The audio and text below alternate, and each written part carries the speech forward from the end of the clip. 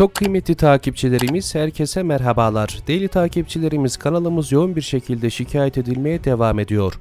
Bizlere destek olmak amacıyla kanalımıza abone olmayı, videolarımızı beğenip nokta dahi olsa yorum yapmayı unutmayın. Değerli dostlar Azerbaycan'dan çok güzel haber geldi. Türkiye Azerbaycan'ın her daim arkasındadır. Açıklaması yapıldı. Azerbaycan ve Türkiye'nin askeri işbirliğinden, Türk ordusunun yeteneğinden övgüyle bahseden Azerbaycan Cumhurbaşkanı İlham Aliyev, Azerbaycan'da Türk ordusunun küçük modelini oluşturacağız. Türkiye'nin ordusu bizim için en makbul modeldir açıklamasını yaptı.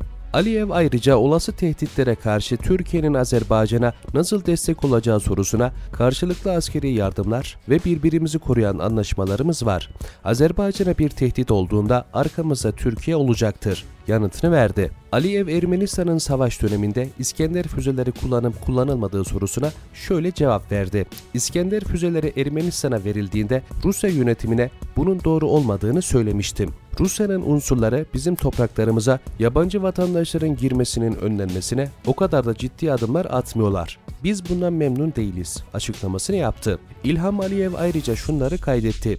Türkiye ile İsrail arasında ara buluculuk yapıyor musunuz sorusuna dostlarımız arasında dostluk olursa bu hem dostlarımız için hem de bizim için iyi olacaktır yanıtını verdi. Değerli takipçilerimiz gördüğünüz gibi Azerbaycan ve Türkiye'nin birlikteliği tüm dünyayı susturmaya yeterli oluyor. İnşallah bu birlikteliğimize diğer Türk devletleri de dahil olacaktır. Allah Türkiye yar olsun.